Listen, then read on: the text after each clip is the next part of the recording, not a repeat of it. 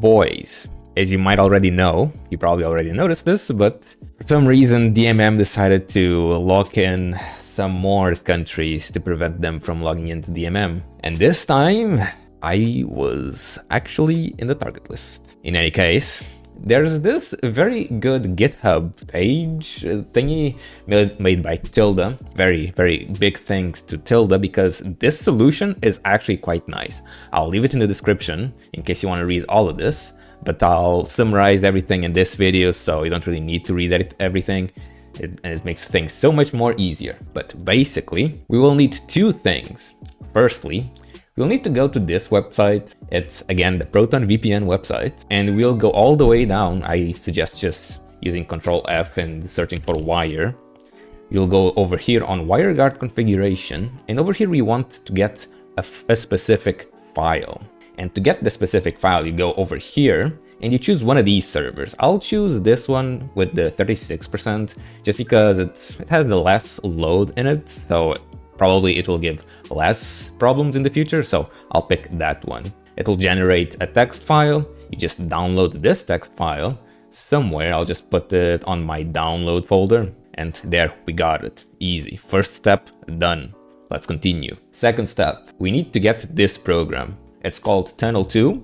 It will be very useful for what we're doing. Just click this first file, just download the installer, we'll put it in the downloads folder again, and there you go, very simple. Now let's actually start installing TunnlTo because we will need this. Just click next, don't really need to worry about anything, and you can launch it right after. Once TunnlTo is open, just click on install Wiresock, it should be quite, quite quickly. And once it is installed, just click on the create tunnel.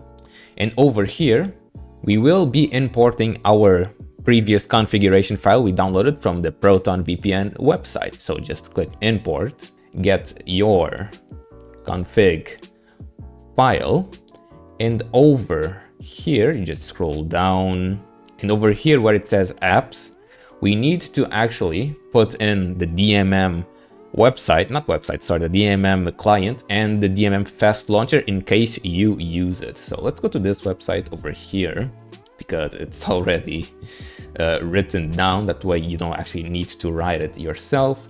Just click, just copy the DMM game player, place it over here. You do have to separate them with a column. So just put a column and hit enter. And since I use DMM fast launcher, I will also be copying this one and paste. And that should be everything. We click save and we click enable. And now I am connected to the supposedly tunnel or, well, kind of VPN kind of thing. Now I shouldn't have any problems launching Princess Connect. Let's first uh, test it out with DMM and see if it opens. As you can see, it opens without any problem. And the game also, of course, since DMM is already open, will also open without any kind of problem and testing it out with DMM Fast Launcher. As you can see, no problems also, and the games in the game also launches without any kind of problem. Very, very nice.